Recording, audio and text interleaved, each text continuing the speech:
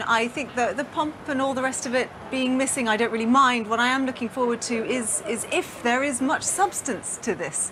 I think it's interesting that they haven't yet reached a deal with the DUP, um, and I will be looking for certain things. I'll be looking in particular for a reversal of the cuts to schools funding. Uh, we'll also be looking to see if uh, allegedly they have dropped uh, taking back school lunches and the rolling out of grammar schools, um, but also about Brexit. You know, what will they be able to say that they can deliver? And will continue to push for access to the single market and the customs union and also protecting the rights of EU citizens.